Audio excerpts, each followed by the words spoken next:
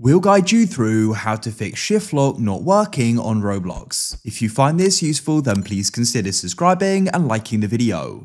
This problem can be really annoying as personally I find it much easier to go and play with shift lock as it means I can go and move around more easily. So there are some different fixes you can try. When I currently press shift nothing happens. First of all in the game go and pause it by pressing escape.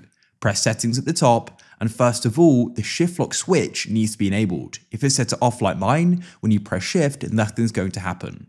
Now that it's on, I can then unpause the game, and when I go and press shift, it then works. So that switch needs to be enabled for shift lock to go and work. However, if that's already enabled or you've now gone and enabled it and it still isn't working, what we're going to try doing is simply restarting the game. So I'm going to go and close it like so. I'll press close Roblox. And what we can do is try launching it again. When you're in the game, make sure the switch is enabled and press shift and hopefully now it's going to be working.